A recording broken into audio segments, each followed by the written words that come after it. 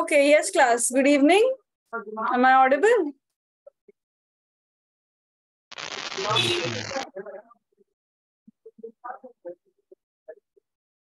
So who all have joined? Asta, Ahmed. Ahmed, you were absent no yesterday? Ahmed Usman, Yes, ma'am. Alan, Aryan,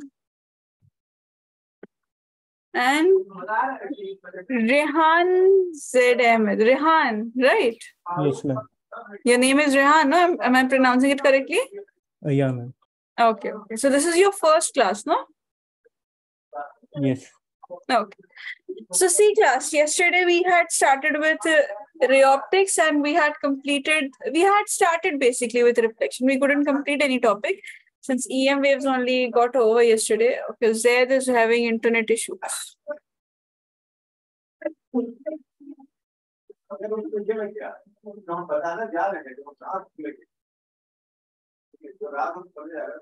All right, class. Now see, uh, regarding uh, an incident ray, we discussed that three phenomena occurs over there. When the incident ray is incident on a surface, there your network is fine now. Are you able to hear? Yeah, yeah. Yeah. Okay.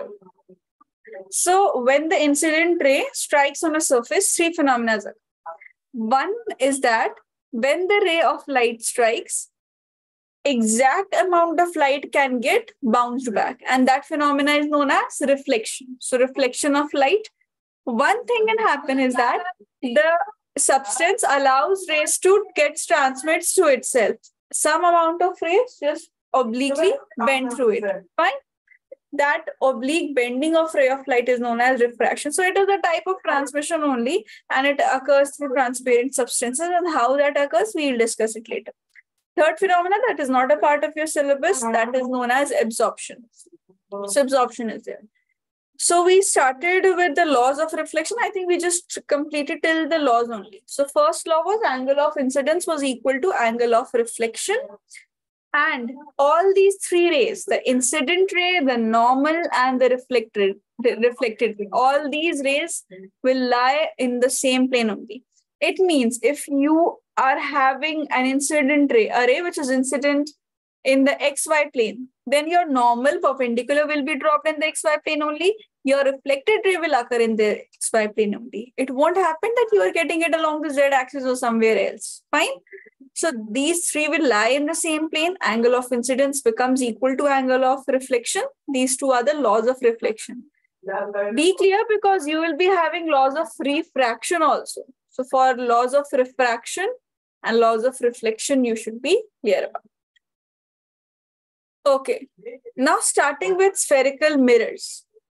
In case of reflection, we'll be dealing with mirrors only. All the types of mirrors that are present, we'll, we'll deal with mirrors only. Lenses we'll deal with in case of refraction.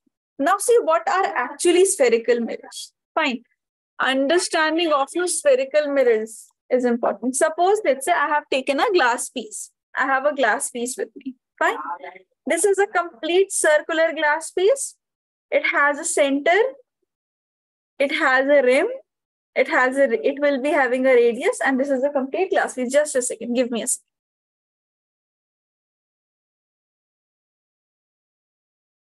All right. Now, if I somehow using this curve, this is a proper circle in front of you. In at any point, no, I'm just cutting it. Let's say at this point, I have cut this. Fine. Now, what will happen? From this fresh piece of glass, I have just cut a portion. This portion I have cut along. From here, I have cut it. Now, what will happen? I'll obtain bulge, just a bulge, I'll obtain it suppose this kind of bulge I'll obtain. If I just take this portion, it will be just a bulge for me that I'll obtain. Now what I'm doing, using polish, using silver, I am silvering the outermost surface, this bulged part. This is a curve. This bulged part, I'm silvering it. I'm polishing it. And I'm remaining and I'm letting this inner hollow part remain as it is. Fine. This bulged part, I'm silvering it. This inner part is remaining as it is. So it means this outermost bulged part, this has been now silvered. And this innermost part is left for reflection to occur or the light rays to strike basically. So when this occurs that the light rays are striking a surface, right, in the within the hollow portion, and the outermost part is silvered, such a kind of mirror is known as a concave mirror. Fine. Bulge will be silvered, inner part will remain, inner hollow part will remain as it is unsilvered, and the light rays will directly strike over here. Now, the same, talking about that same glass piece, which I was referring to you. Now, talking about that glass piece only, if I have just this glass piece, I'm having it, and somehow I'm not silvering the innermost portion. Uh, I'm not silvering the outermost bulge, but somehow I'm managing and I'm able to silver this. Silvering means polishing. You are applying a coating in order to opaque it, make it opaque, and not let the light rays transmit through it. Right. So this part, this part class, this part has been silvered now. So such a mirror that will be obtained, this is called as a convex mirror. Now light waves will strike here. This part has been silvered.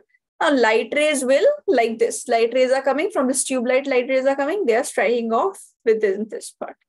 So how to identify? You have to identify by the silvering part. And in a normal mirror, you can see the silvering part is shown by the dotted lines. Whenever we have rough part or silvered part or polished part, that is shown through this. So these are the types of mirrors that we have and different different images are obtained and different different applications are there based upon this. Now, one more thing. This was just about the types of mirror. No, but some things, some basic things for this glass piece that we had, that will remain the same. For that glass piece, some things will remain the same. Both are actually a part of this hollow sphere. No, so some things that are present, let's discuss that first. What all things are there, what all things are essential whenever you deal with. Now see, I'm not referring to a specific kind of mirror. I have just drawn this. I have just drawn this sphere. This is a normal hollow sphere for which uh, to which the mirror was a part of. Fine. Now see, if I have a spherical part, a center will be present right? So here also, the center of this sphere will be present. This center, the center is known as center of curvature. These are all the landmarks for your ray diagrams, and you will be using and referring these only. Like I'll tell you, through the center of curvature, the ray of light will pass through, or at a particular point that will be mentioned, right? So similarly here as well, you have to focus it on the terminologies. Based upon the terminologies, you will be having the reference points. So like this, this is the center of the mirror and this is known as the center of curvature. Now, it's a circle that has been drawn. So definitely a radius will be there. This radial part, this radius, this is known as radius of curvature. This is known as radius of curvature. Now class, if I draw a parallel line or if somehow I manage to join the two diametrically opposite ends, let's say any two diametrically opposite ends, these two, these two, any two diametrically opposite, I'm just joining it.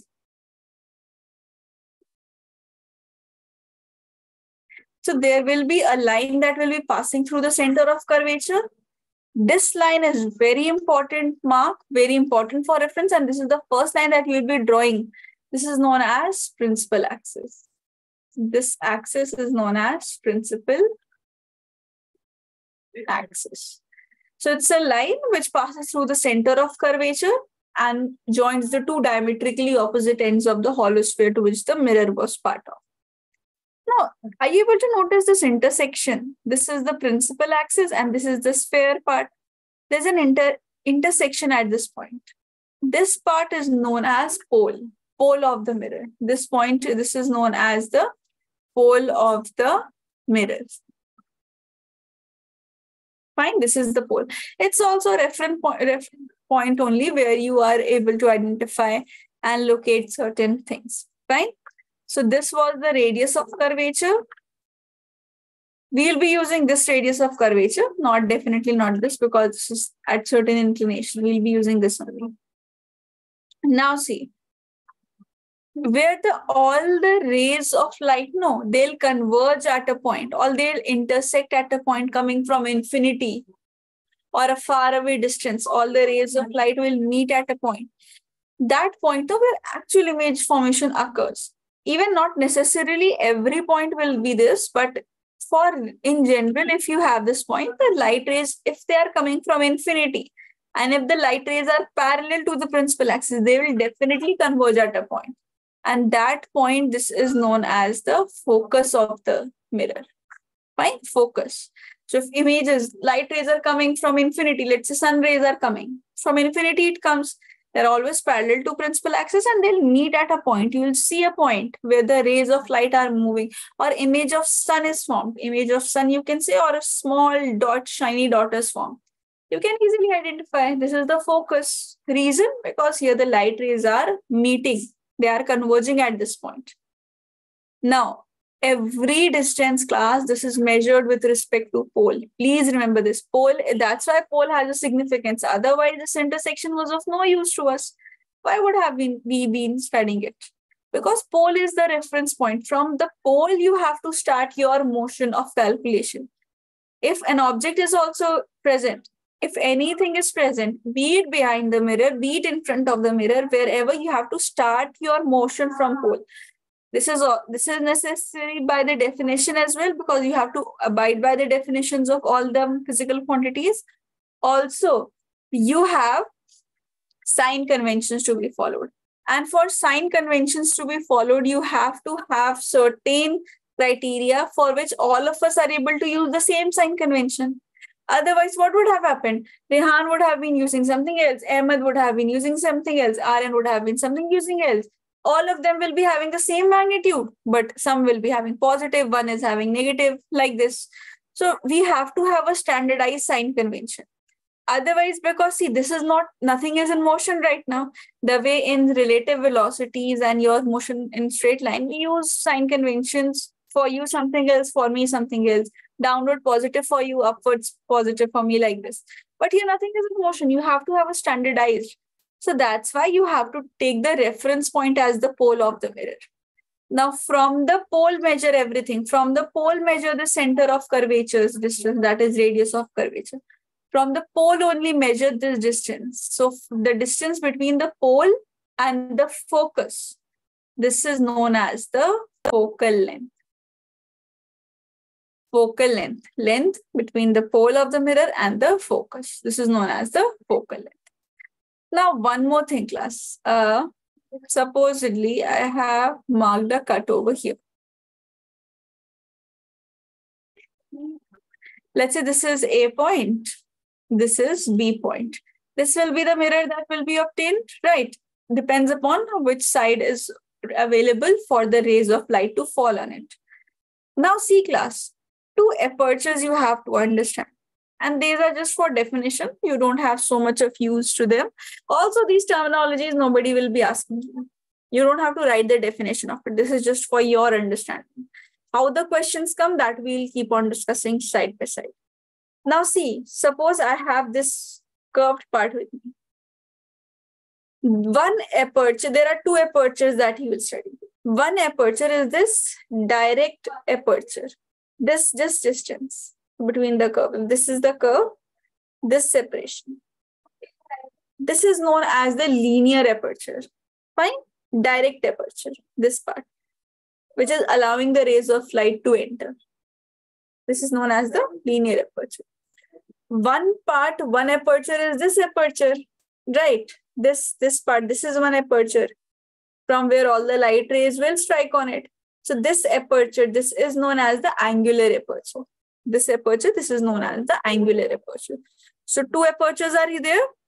Linear aperture means this. This is the linear aperture. This linear aperture. This part that has been calculated, you can calculate it. Otherwise, is this angular aperture because this subtends an angle somewhere. So two types of apertures you have, linear aperture and angular aperture. just remembering the term aperture is enough for you because you will be using aperture only, you will not be mentioning anywhere. But if I talk about the direct length AB, that is linear aperture. And when we obtain this curve, APB, when this curve, curve is obtained, that is known as angular aperture. This is known as angular aperture. So these are some basic terminologies. I think now all the terminologies we have already discussed.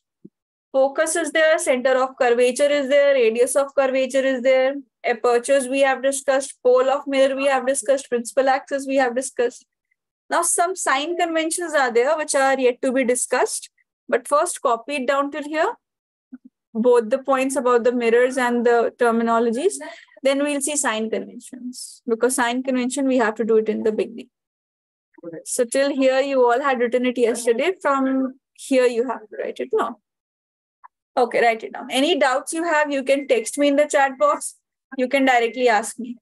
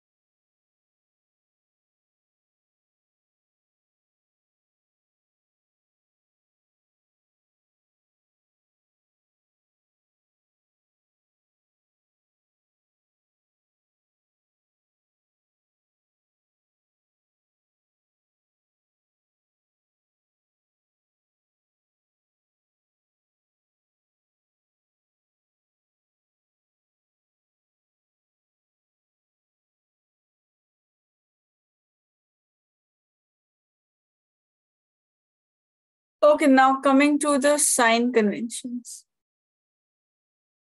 See, this is uh, an example of concave mirror that I have taken uh, by these rough images no, that has been depicted. It is just showing that this has been silvered so that you are able to identify. Because by looking at the shape, you cannot. A convex mirror can also be kept in this form. A concave mirror can also be kept in this form. So you have to identify by the surface it, which it is striking.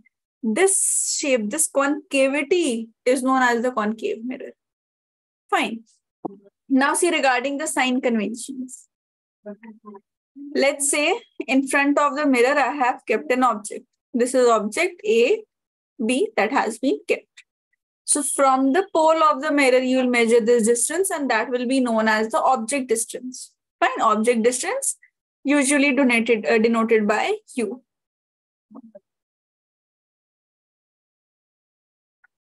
Now see what will happen. Incident rays direction is what? Incident ray is striking the mirror, no?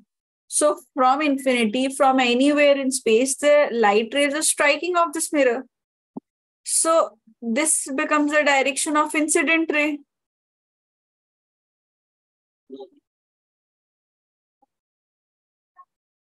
Now remember, all the distances that are taken in the direction of incident ray, those are said to be positive, and all the directions that are in opposite, that are taken opposite to the incident ray, those are negative, simply. Like if I talk about this object, this is the direction, direction of incident ray. From the mirror, I'll begin my motion to calculate the distance. So this is pointing towards the left side, while incident ray is towards the right side. It means object distance will be negative. So it's better now instead of one thing you remember, if you remember what's the direction, first you figure out what's the direction of incident ray. Then you analyze and identify what is the object distance, whether, whether it's positive, negative. It's better if you remember in such a manner. Anything that is kept in front of the mirror, it will be negative anything that is kept behind the mirror. Definitely, you cannot keep an object behind the mirror because no image will be formed. But sometimes it happens, the images are also formed behind the mirror. Focal length of some mirrors are um, behind it. So whenever any focus, anything that is kept behind the mirror, that will be positive. Anything in front of the mirror, be it an image, be it an object, anything that is present, it will always be negative. This way you can remember, I think it will become easier for you to learn. But for your knowledge, for, for the reason, for understanding the reason behind it, incident ray will what happen? You have to remember it why this is all this has been taken by the direction of incident ray. Find whatever is the direction of incident ray, according to that it has been taken. If a ray is a long incident ray, these are positive. It is opposite, then it is taken as negative but for your understanding because you'll not be having so much of time to analyze all these things so remember think anything kept in front of the mirror negative anything kept behind the mirror positive. Also this was just no positive negative uh, regarding the object and image distance focal length radius of curvature. All these things you have to keep in mind not only the uh, radius uh, object distance. Object distance image distance radius of curvature focal length all these things you have to keep in mind. Now, anything that is formed above the principal axis and perpendicular to it, like this object, this object is kept perpendicular to the principal axis. Like this, it has been kept. This is the principal axis and it has been kept straight away like this. So anything that is kept in above it, that is taken as positive, and any distance that is kept below it, that is known as negative many a times you will be facing images that are formed inverted. So what you will do? It means you will use a negative sign. That negative sign will indicate all the complete information. And you will be having other things as well. Magnification you have. There are certain other things that we'll discuss later on. But firstly, you have to understand this part only. That incident ray is there. So height of object will always be positive. Height of image depends. If it is formed below the principal axis, it will be negative. It, If it is formed above the principal axis, it will be positive.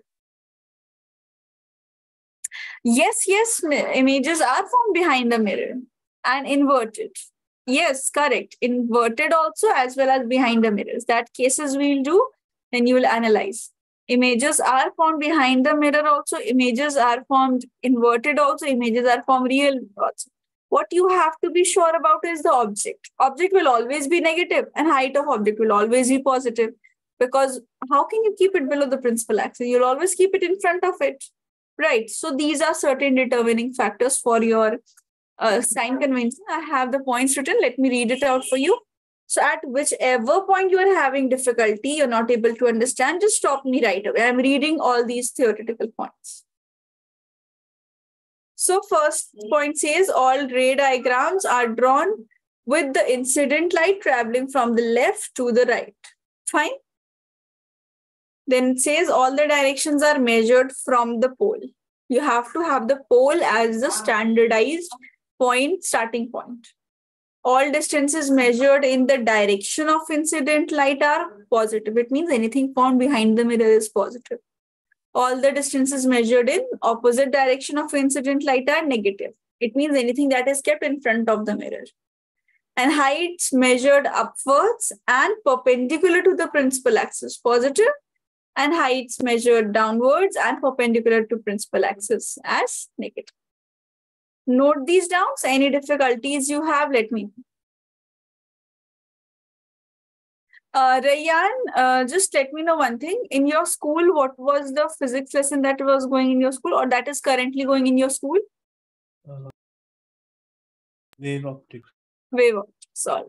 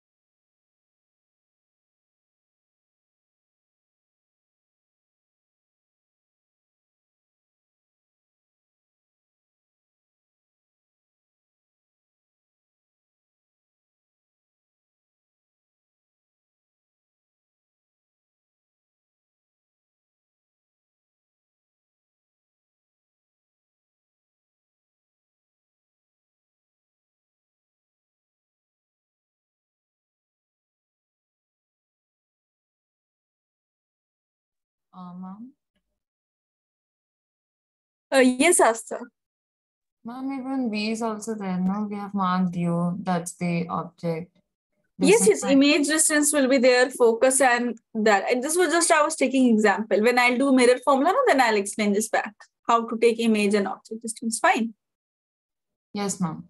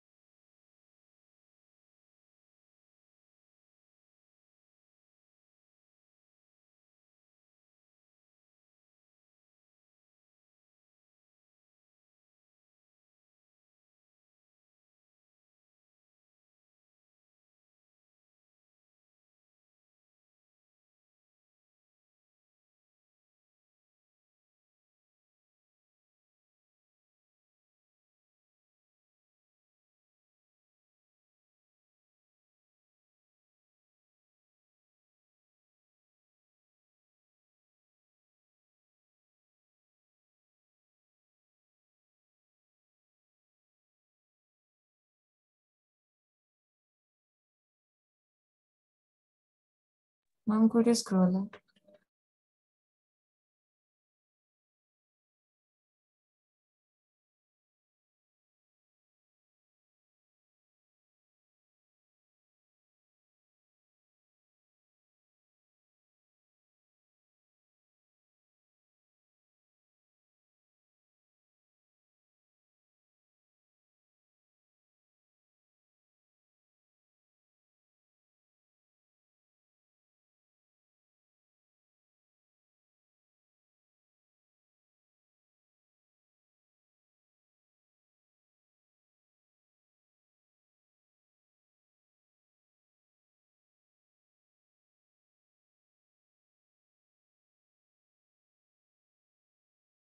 Yes, ma'am, done.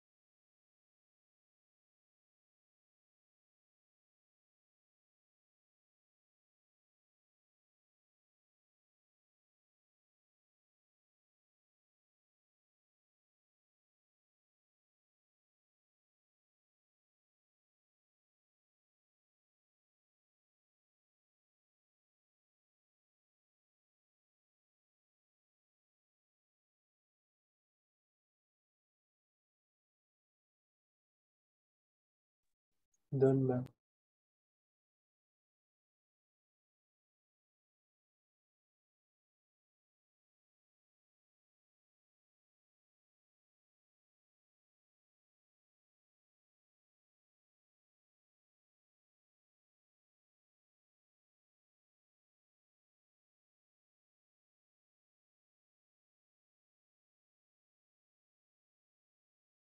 Now, there are certain rules for drawing ray diagrams. Four rules are there. Those four, four rules are very basic. We'll be repeating those rules only for drawing the main ray diagrams, not for your concave mirror or your convex mirror.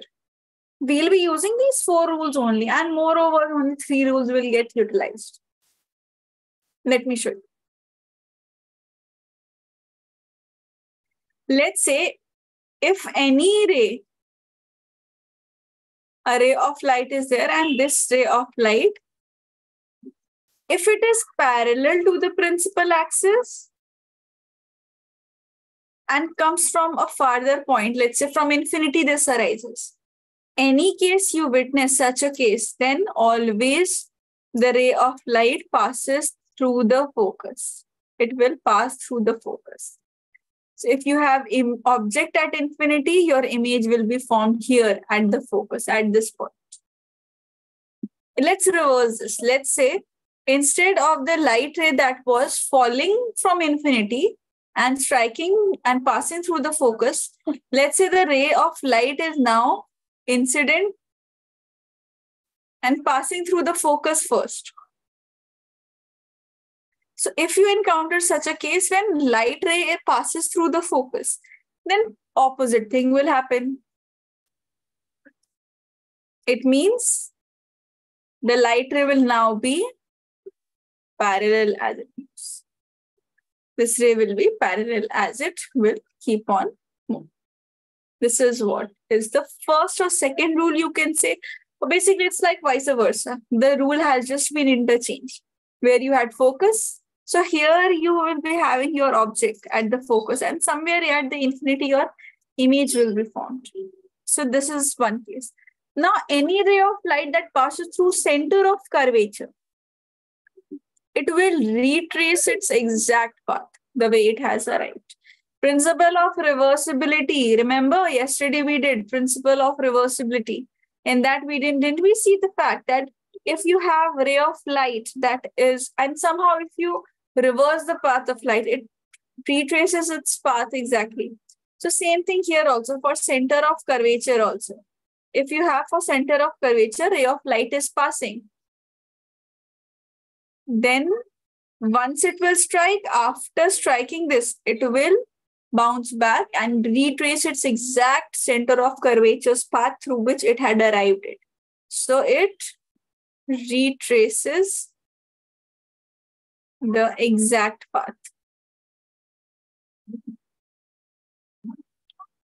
So these rules are essential. These rules are necessary. One last rule that will be least utilized by us for the calculations.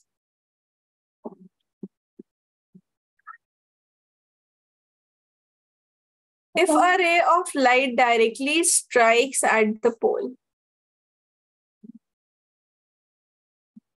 like this, then laws of reflection we did, no, yesterday laws of reflection we had studied if this is striking it, it means this is your incident ray. This is angle of incidence. Not this exactly. If you will draw the normal, you will see angle of incidence is this. This is not angle of incidence. This is the angle that is formed by the mirror. Now see, normal, if you drop a normal at this surface, the normal will somewhat be here only across the principal axis because principal axis is crossing it. This is the mirror. This is the principal axis. So this angle will be somewhat 90 degree only. That's why we are choosing this angle of incidence. This is a normal now. This is angle of incidence. Now what will happen? When the ray of light will move, it follows laws of reflection. It means this angle becomes angle of reflection and angle of incidence is equal to angle of reflection. So this follows both the laws of reflection. So if when this is the case, when the incident ray is directly incident at the pole, then this happens. Otherwise, rest of the two points that we had discussed above, they were sufficient. Just copy it quickly, then we'll see how the images are formed in a concave mirror.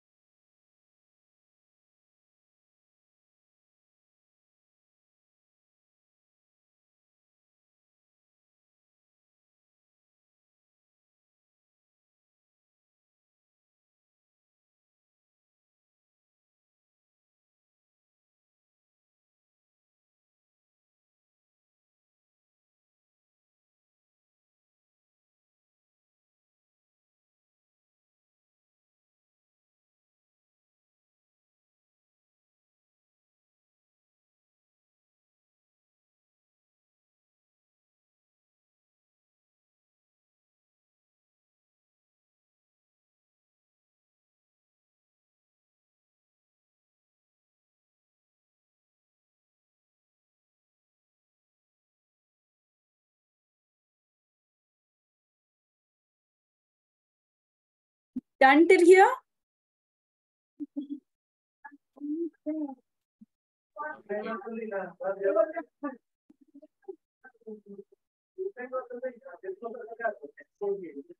Any doubts till here? Is it here?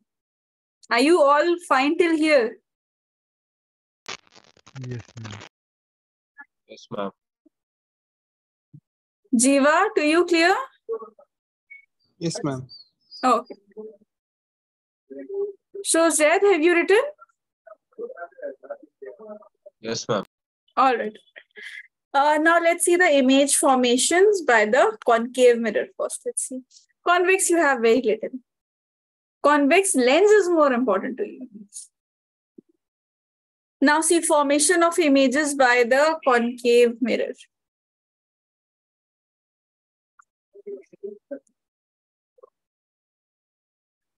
Now we are keeping the object beyond C. Beyond C means I am keeping the object anywhere here. Let's say AB, this is the object. Now the light rays will obey the laws and the procedures of it. So one ray will be parallel to it and it will pass through the focus. And the other ray of light, this will retrace its path from the center of curvature. This intersection where there's an intersection that has been obtained by both the rays. This part, this is A dash, this is B dash. Why I'm writing dash? These just primes will indicate that this is image, not the object. Fine. So this was the object. This ha image has been obtained. Now, what type of image has been obtained? See, object was kept beyond C image that was obtained was between center of curvature and the focus. So between C and F, you have your image that has been obtained. Also, Im image is diminished. Diminished means it is comparatively smaller than the object. Object is larger also that you can see from the image, Uh, from this screen also. AB is your object. A dash, B dash is your image. And it's a real image. Why real image? Yesterday only I have told you that whenever you have actual lines intersecting, that point of intersection, that point of cross section, that is known as a real image. If somehow you are extending it and somehow you're producing it and the lines are appearing to me, they're not actually meeting, that is a virtual image. But when the actual rays of light meet at a point, that gives you real image. And obviously you can say AB was kept, now you are obtaining A dash B dash. It means image has been has now been inverted. So image is now inverted image. So between C and F, diminished, real, and inverted. This is beyond C. Now let's move it a little further. Let's keep it at the center of curvature. Let's keep it, it exactly at the center of curvature.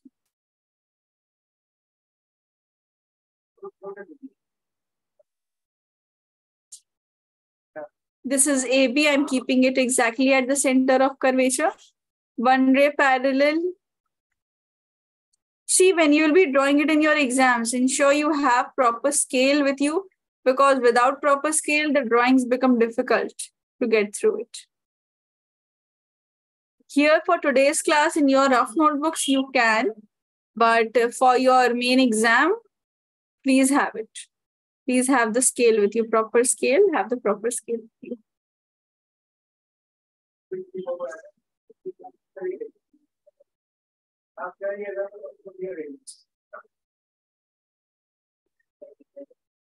Here at this intersection, I am obtaining A dash, B dash. Now see what all things you can notice. Firstly, this ray light went here, it crossed. Then this ray went here and it became parallel. Now, what all are the possible things? At the center of curvature was the object. At the center of curvature only, no, is your image. So image is obtained at C. At the center of curvature only you obtain the image.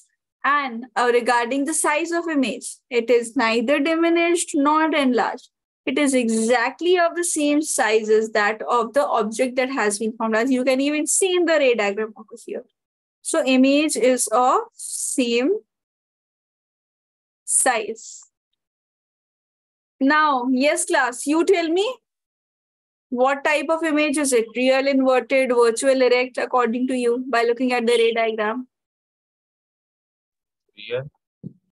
Real, definitely good, Z. It is real because the line, the rays of light are actually intersecting. And erect or inverted?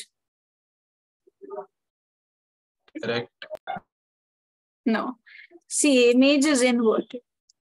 How to identify erect and inverted is here it was AB.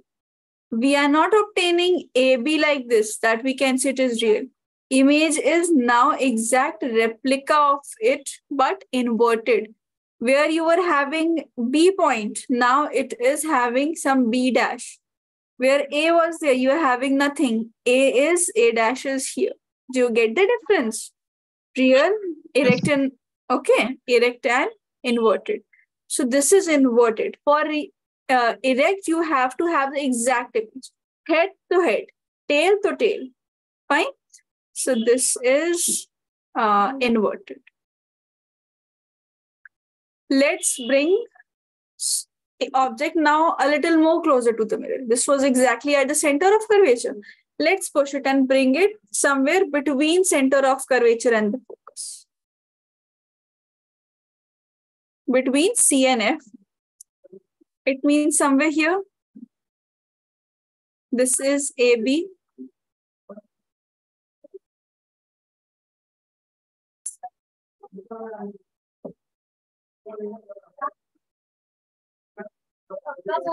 This is at the center of curvature.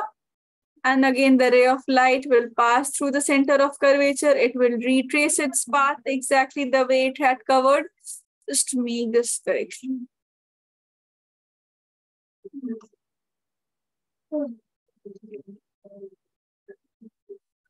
So this, let's say this is the object.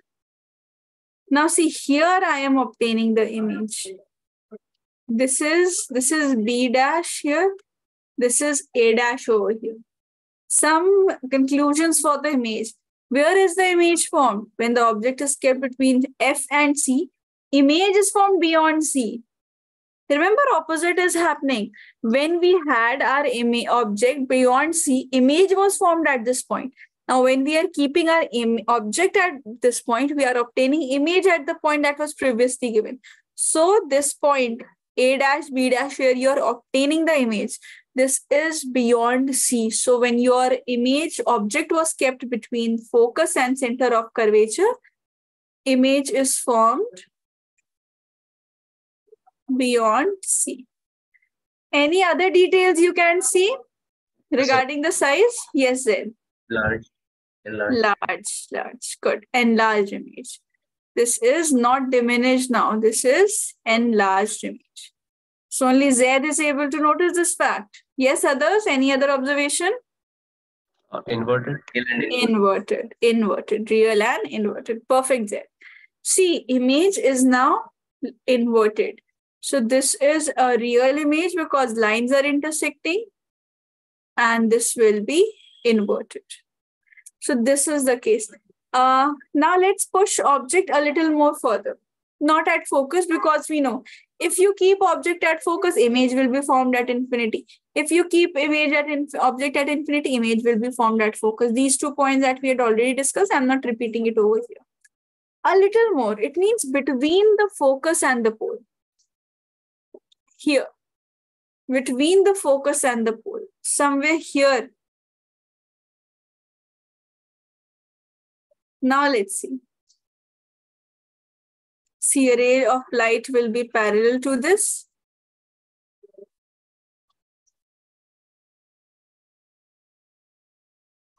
This ray of light, once it will be parallel, it will pass through the focus. If you have it, it this will definitely pass through the focus. So here it will pass through the focus. Second ray of light will pass through the center of curvature. Like this. Now see, no intersection, The light rays aren't intersecting and they are not even parallel that I can say the image will be formed at infinity. So one thing we are sure we need to produce it and let's see, are they appearing to meet at any point? I am extending it and I'm extending this. Somewhere at this point, they'll appear to meet. They'll appear to meet. They're not actually intersecting that I agree. So this is A dash B dash. Some new conclusions. First, the image will be found behind the mirror.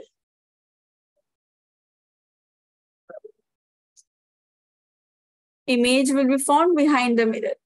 Now your observations class. Uh, enlarged and inverted. Uh, sorry, uh, erected. Erect, erect. And regarding the nature, yes, Ahmed, Will it be virtual? virtual. Perfect. Because light rays were not actually meeting. They are appearing to meet it at a point. So yes, good all of you, especially Zaid and Ahmed. This is enlarged because the size is greater. It is exactly formed the way it is. A, so A is there. B, so B is there. So this is not inverted. That is, this is erect and virtual because light rays are actually not meeting. So this part now comes in your theory as well that uh, which uh, what is the play is object placement to be done when the image that uh, has to be obtained is virtual for a concave mirror. So in that case, you have to mention between the focus and pole because if you have it between focus and pole, then only you'll get a virtual image. Otherwise, in all the cases we had seen, it was real and inverted, real and inverted everywhere. Fine. One image formation we have by convex mirror. Why? Because for a convex mirror, no, everything lies behind the mirror. This we'll do, then rest of the things you can copy down. Formation of images by convex mirror. So principal axis, draw all these things. No, if possible, draw it here also with the help of scale.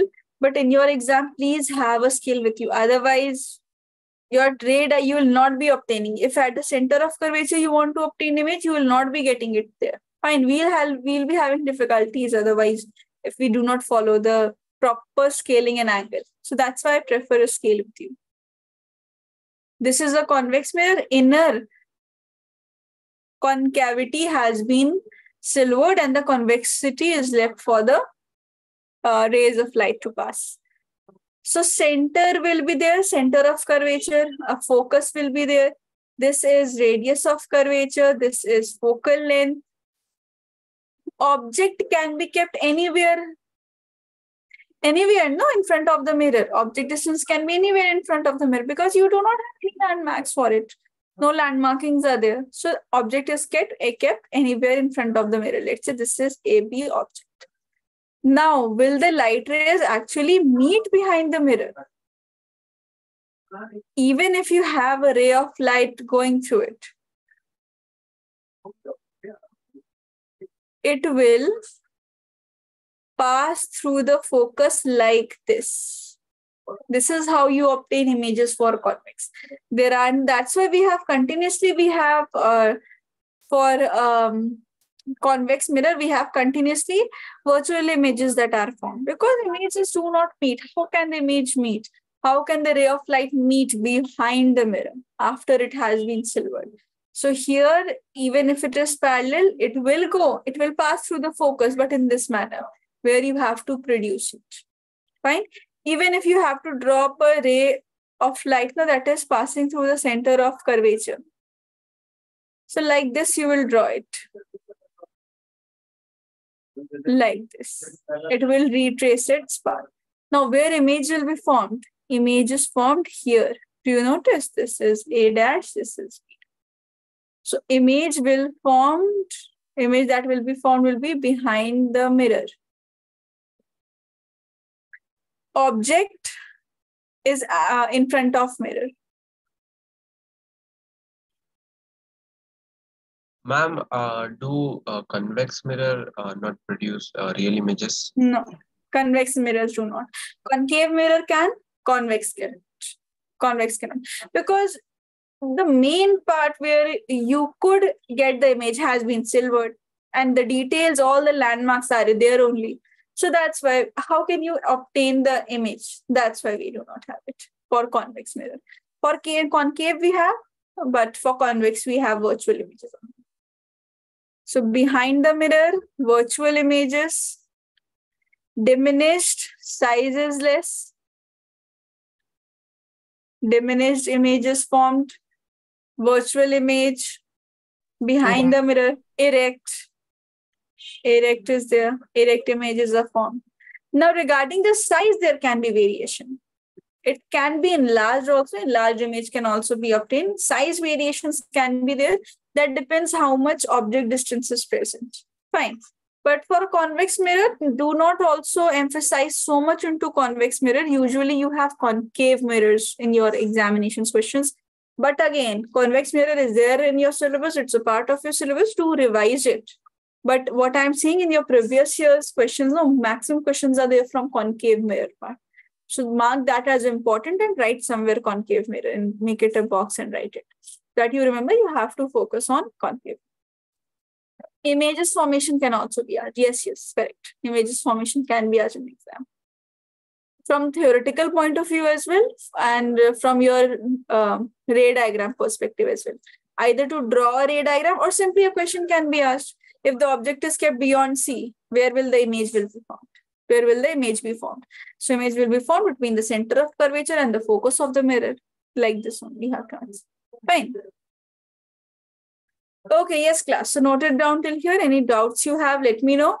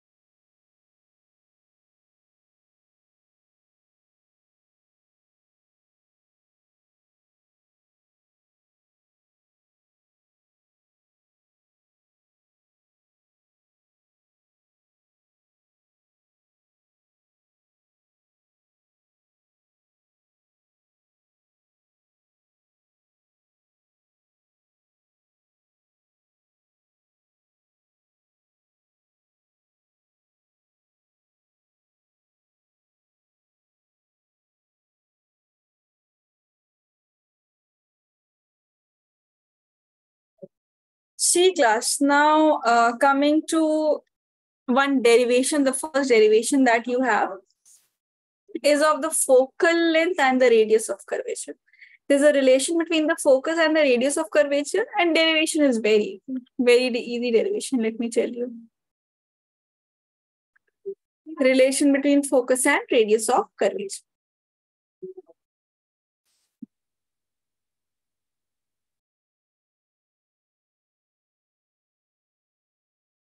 Light rays, let's say these are incident. This is the incident ray. Now class, when you have to drop a normal, so how will you draw? This is a curved surface. We were discussing yesterday when we were discussing the laws of reflection. We had discussed it on a plane surface. For example, this is a plane surface. Like this, dropping a perpendicular. This was what was a normal. But right now, this all these are curved parts. So how will you draw up a normal? So remember, the normal will always pass through the center of curvature. It means for drawing the normal, no, if you draw up a line passing through the center of curvature, this will be perpendicular to this mirror. This is a technique to draw up a normal and draw all the normals for it. So this, if this is the normal, then normal and incident ray is there. So this becomes angle of incidence. This is some random alpha I'm referring it, just a referral angle. This, this has no physical meaning. This has physical meaning, angle of incidence, but this has no meaning. This is a random angle I'm thinking. Now, if incident ray is, let's say, according to laws of reflection, following proper laws of reflection, it passes through the focus. Okay, let's name this point. Let's say this is some point B. This was A that was coming. Now C class, an angle of reflection is this angle between the normal and the reflected ray. This is the reflected. This derivation, uh, it has come a lot of times in your exam. So mark it as important, but it is very easy to remember. Now see how to remember it. See, angle of incidence is there and angle of reflection is there. What is the relation between angle of incidence and angle of reflection? Equal both are equal according to the laws of reflection. You have both angle of incidence equal to the angle of reflection. Right angle of incidence is equal to angle of reflection. One more thing class. Can you see angle of incidence and this alpha? Can anyone tell me what is the relation between angle of incidence and this alpha? They are also equal. why? They are equal. They are equal. All good. Both are right. Rehan and Zaid, both are right. Alternate angles. Because this incident ray is parallel to your principal axis. So this BC is acting as a transverse. When this ray of light, if this is acting as a transverse, alternate angles become equal. So angle of incidence was equal to angle of reflection. Now angle of incidence is equal to this alpha. So definitely we can say alpha and R are equal. A is equal to B, A is also equal to C. So B and C both are equal. Now class, if two angles in a triangle are equal, so what can you say about this triangle BCF? What type of triangle is this? BCF. Two angles are, uh, yes, there. Isosceles triangle. Isosceles triangle, yes. This is isosceles triangle. So a characteristic of isosceles triangle is opposite sides become equal. It means CF will now be equal to BF. Now C class one, just point. This point B now that we have located and this pole of the mirror. These are very close to each other. So if you write FB or you write FP, both have the same meaning here because of the small aperture the mirror's aperture is not much. The aperture is very small. So that's why if you locate the point B, you can replace it by the point P because both are very close to each other. So instead of writing FB, I can write it as FP. So if CF was equal to FP, then CF will be equal to FP. This was the entire radius of curvature. This was the entire focal length. Can you see focal length is exactly at the half of radius of curvature. So that is the relation that we want to establish. So see, again, repeating all the steps. Angle of incidence is equal to angle of reflection by the laws of reflection. Fine, by the laws of reflection, both are equal. And angle of incidence is equal to angle alpha by alternate angles.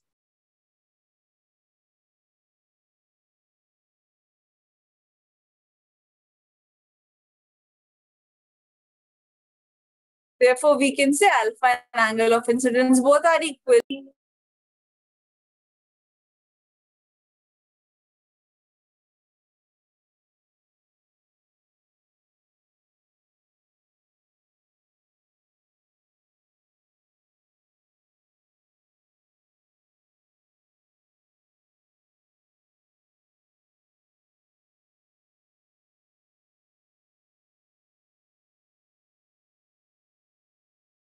Now you can say CB is equal to FB because of isosceles triangle property.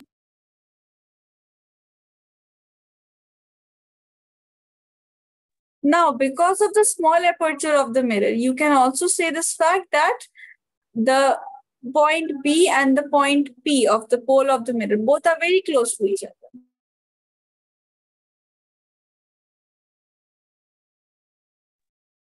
Small aperture of the mirror.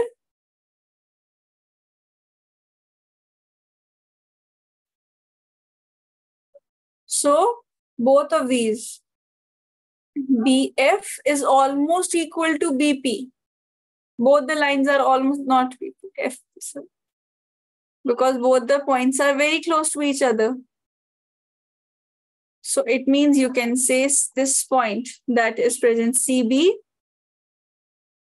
not CB, CF. C. So this line CF, this is almost equal to FB. Now FB is equal to FP, so we can say CF is equal to FP. FP. So this means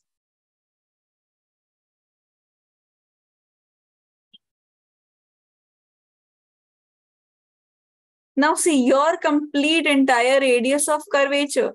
This is formed by CF plus FP, right? So this entire radius of curvature this has been formed by CF plus FP gave radius of curvature. I can write it twice. I can write it as 2FP is equal to R. So I can write down that FP is equal to, not FP, is equal to radius of curvature divided by 2. Now your FP is what? This is the focal length only. So focus lies exactly at the center or mid of the radius of curvature. This is the relation that to remember and this derivation does come in your examination. So it's easy to remember. Orally also you can remember it, but writing down is important. So note it down.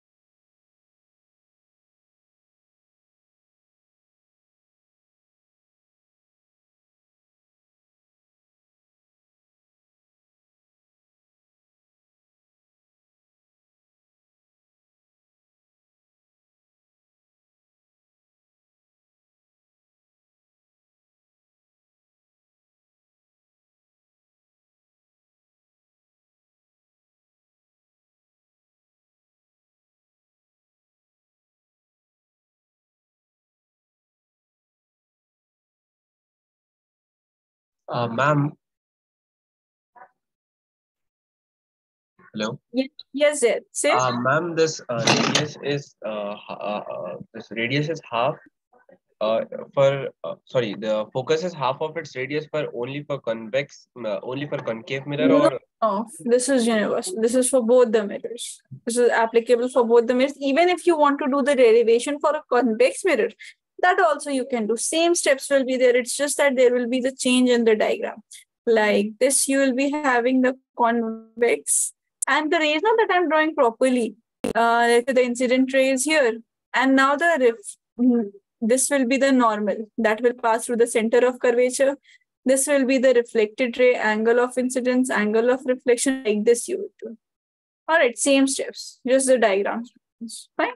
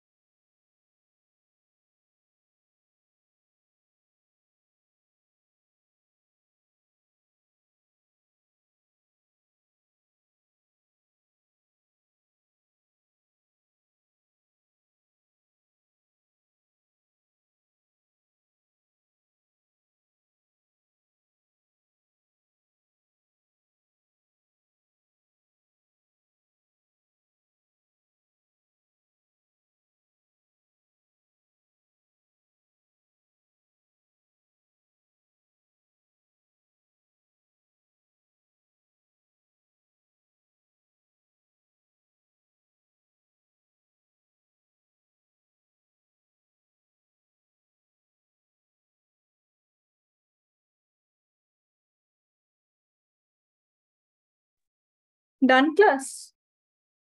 Yes. Yes. Okay. Oh, okay. Let's start with then the mirror formula. Just the derivation we'll do because derivation is not very small. We'll do the derivation and we'll stop whatever time is left. Then we'll continue with the questions and answers in the next class. Now see mirror formula basically gives a relation between object distance, image distance and focus. Now what is meant by all of these things? let's say this is i'm again using a concave mirror. You can use a convex mirror also in your exam also if convex mirror asked same things will be repeated. Center of curvature focus pole of the mirror. Object is let's say this object is kept here. Beyond c ab this is the now see there's this separation from the pole to the object. This is known as object distance. Fine, this is known as object distance. And since this is in front of the mirror, that's why we use it as and make it as negative. Now the light rays will strike.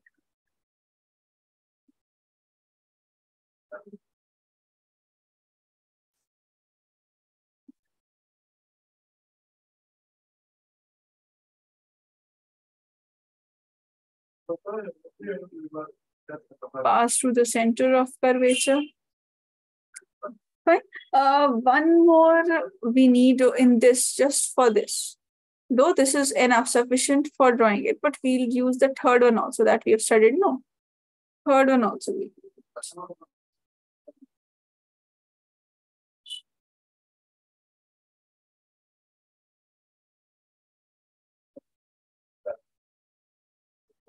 Now here the image will be obtained. A dash, B dash. Now separation of the image from the pole. This separation is known as image distance, V. This is, this is also formed in front of the mirror. We are writing it as negative. This separation, this is your focus. This is focal length. This complete is your radius of curvature. This complete is object distance. Fine. Everything is in front of the mirror, so I'm taking everything as negative. Now let's start with the derivation.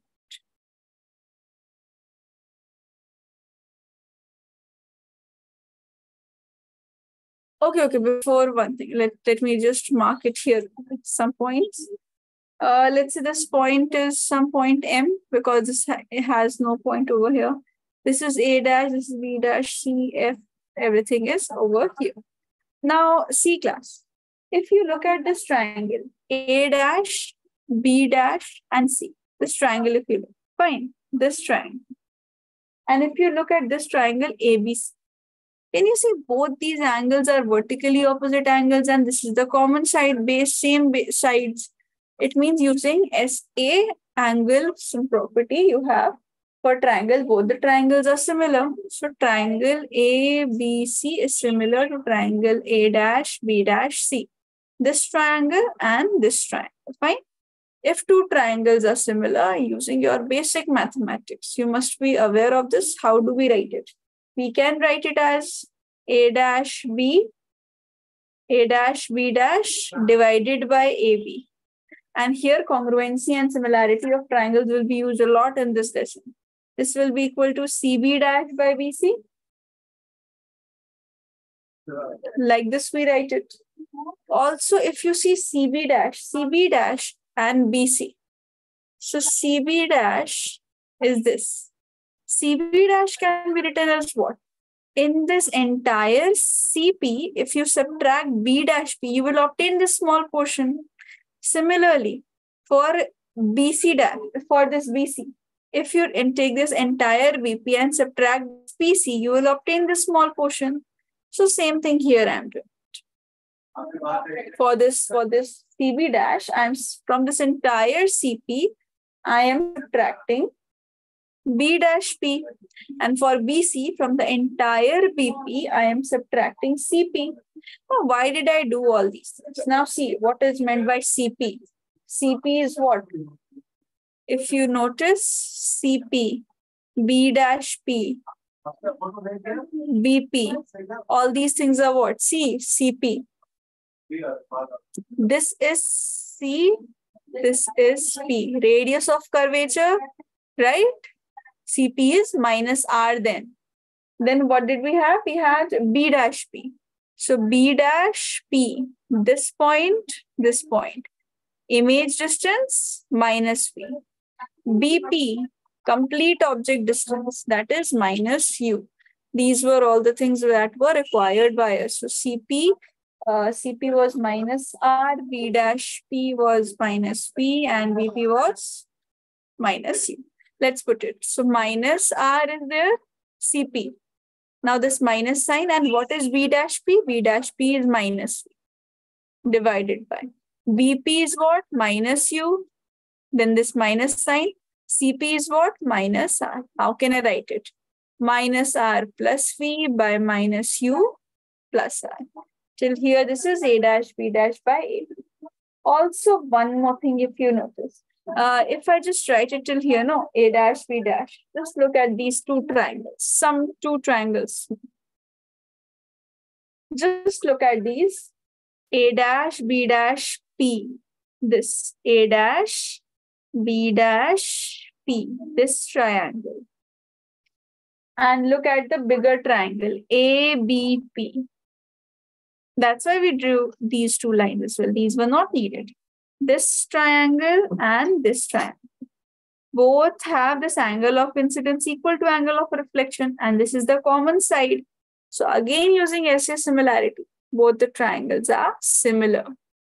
So now also I can say in triangle A, it was A dash B dash P similar to A, B, P. Both are similar.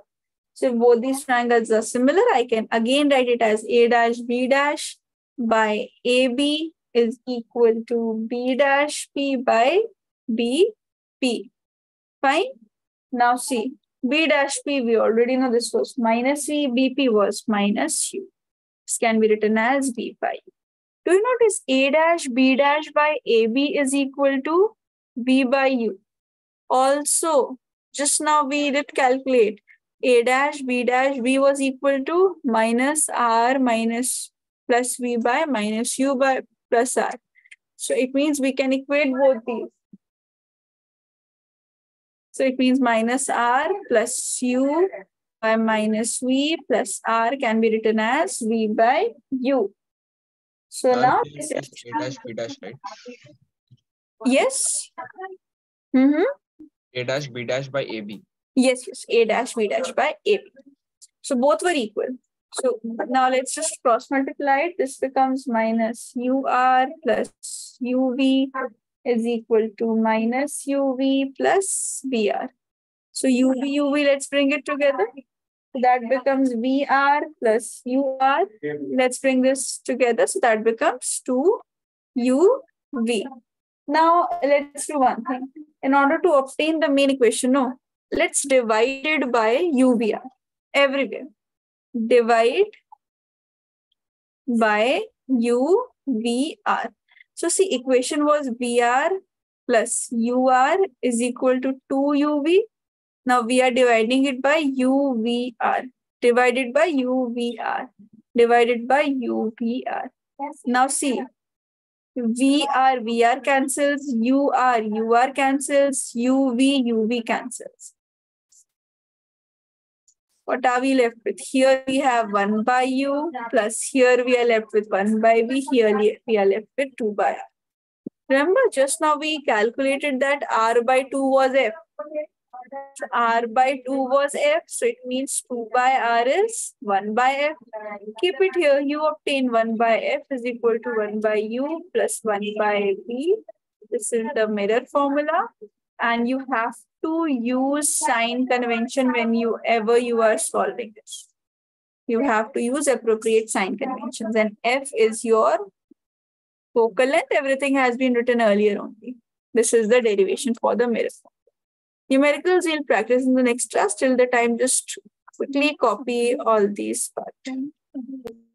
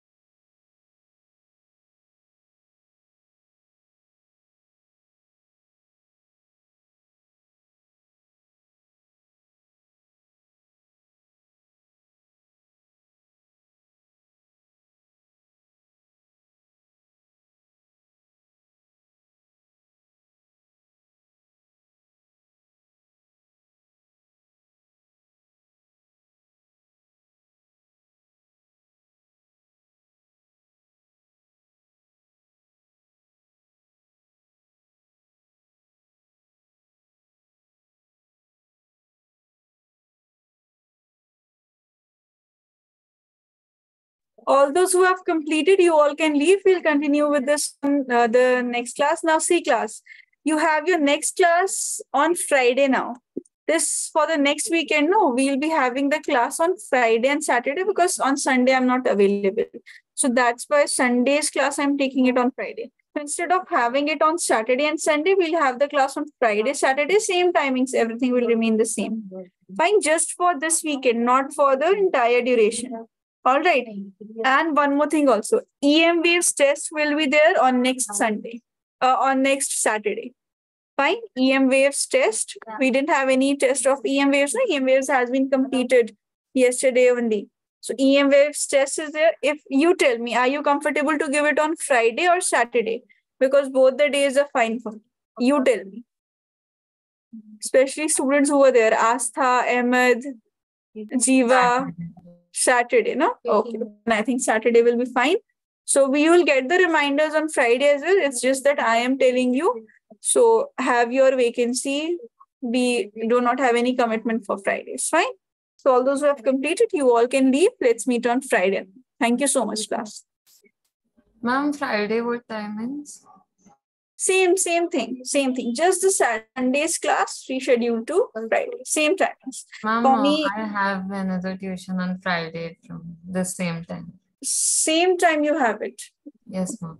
Uh, what's the timing for you? See, for here we start the class at six thirty.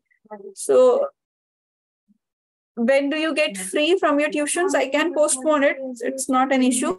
I can prepone it and postpone it for Friday. Timings, tell me, Astha, preferable timings then. Um, ma'am, it's four, four to six. Here is four to six Oman times. Four to six, you have the class. So after six, we can have it. After six, can we have it? Same timings you have it, no? Like for my six thirty to eight thirty, you have it four to six, right, Astha? Yeah, this is what you're saying, no? Yes, ma'am, the general timings are uh, five to six thirty, five to seven, like uh, your timings Okay, okay, for uh, Oman's time. okay, okay. So just tell me after your tuition class, if it is possible for you.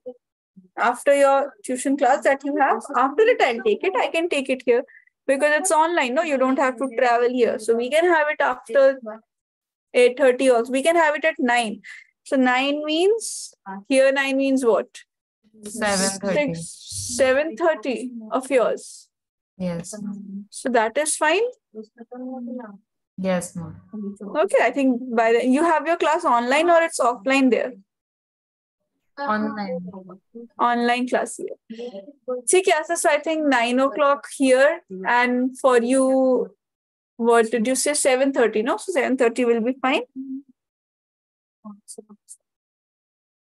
Okay, then I'll just share the timings. Okay, thank you so much.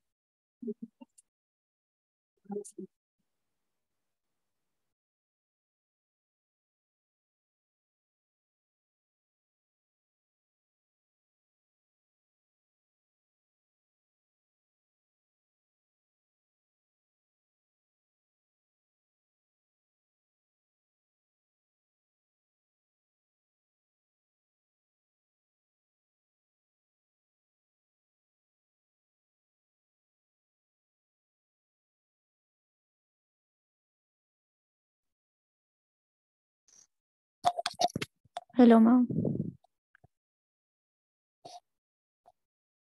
Yes, am I audible? Terry Iqbal, right?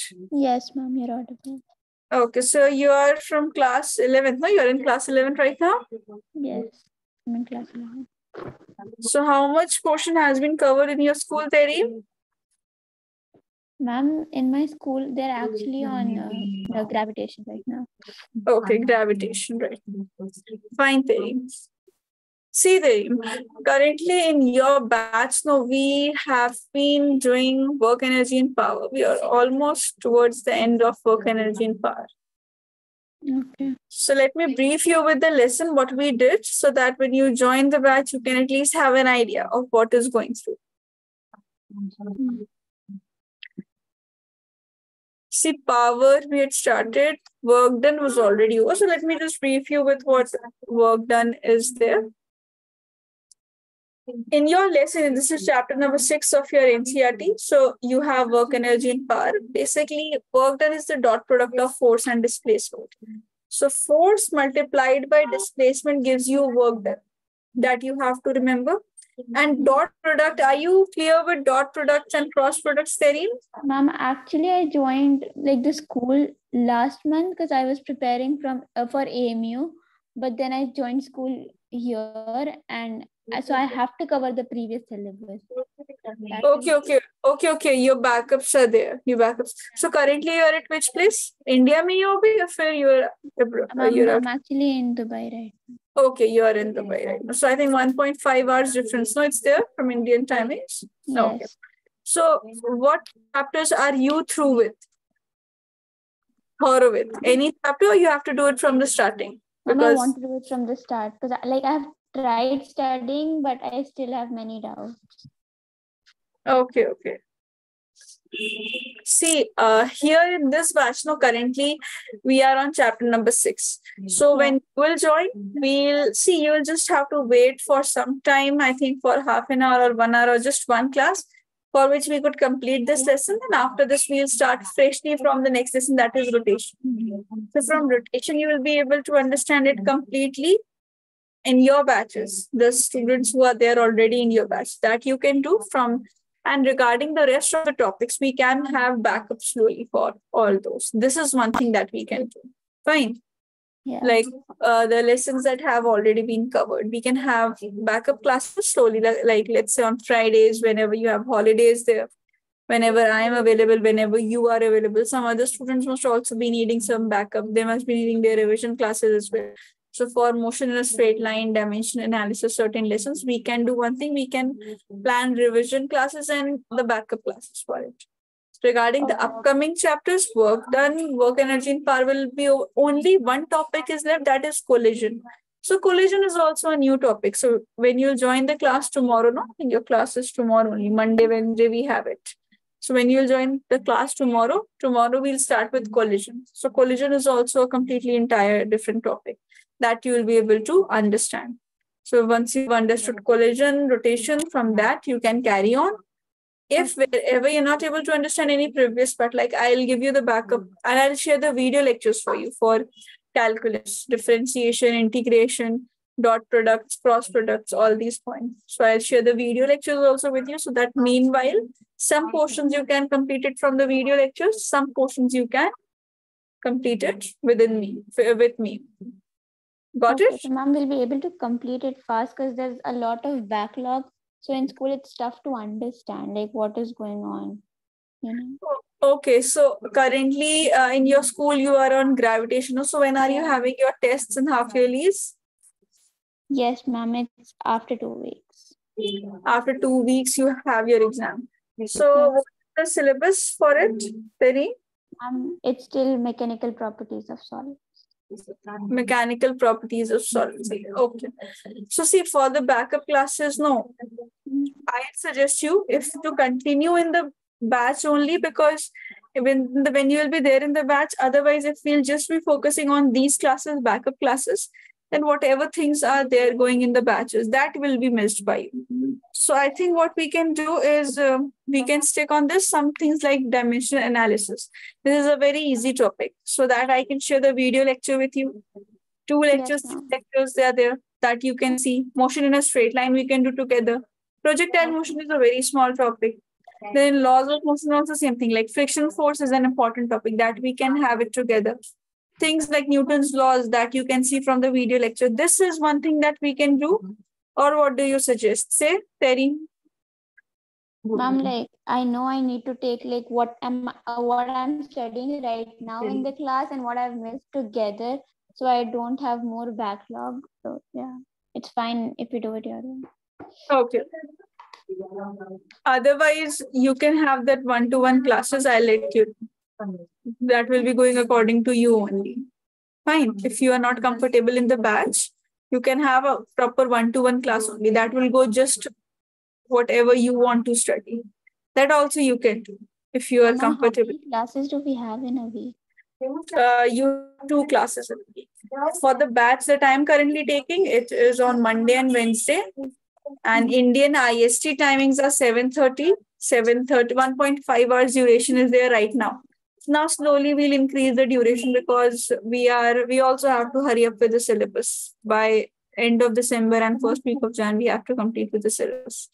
So in that batch, we are um, having 1.5 hours classes from 7.30 IST. So I think for you, it will be what? 6 o'clock? Six. Yes. 6, no? To 6. So for you, it will be 6 to 7.30. IST, it's 7.30 to 9 p.m. So 1.5 hours classes there, mm-hmm. two, two days. One thing you can do mm-hmm. is if you're not comfortable with the space of the batch, mm-hmm. you can have one-to-one classes as well. One-to-one, it means just you and the teacher. That also can be done or uh, that can be done if you uh, want to go whatever is missed and whatever going is whatever is going in your school. Otherwise, whatever is going in the batch that I've also told. So let me know, Terim. Accordingly, I'll plan things for you. Okay, ma'am. Okay. Yeah. So do you want to study something today or you just wanted to have an interaction? Ma'am, I'm fine. Either ways, like it's on you. Okay, you're fine, I do. So see, let me just introduce you what with what we did. Rest of the things, what you can do, you can, I'll let you know. I think time is also, much time is also not left. Five minutes. Let me just brief you with the syllabus and uh-huh. the things that we have covered. So work done we did. Work done was simply the dot product of force and displacement. It means force, whenever force is produced and displacement should occur. Means an object from an initial position to a final position, it should cover some displacement. That is referred to as work done. So force into displacement. Scale, it's a scalar quantity. Are you clear with scalar and vector quantities? Yes, ma'am. I know and vector. Okay. So work done is also a scalar quantity. It means it has no direction. So you don't need to apply any vector laws. Uh, vector laws, I think you must not be doing knowing it in detail. No parallelograms law. All these things have to be revised. Yes, yes. I'll. I think uh, you must be needing those one-to-one classes only because in the batch we are ahead. We are quite ahead. I'll let you know. I'll let you know. I think for you, if the, it is available for you, and if you are preferable, preferring that, then I'll arrange that. Fine, Terry. Yeah, okay. Because here we are dot product, cross product, vector addition, vector subtraction, all these things have been done. Otherwise, that backup thing, otherwise, if one-to-one classes are not